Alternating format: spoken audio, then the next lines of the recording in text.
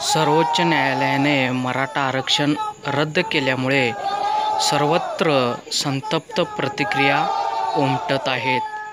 पंढरपुरातही आज मराठा समाजातील नागरिकांनी अर्धनग्न व मुंडन आंदोलन केलं. तसेच सरकारच्या निषेधाच्या घोषणा देण्यात आल्या.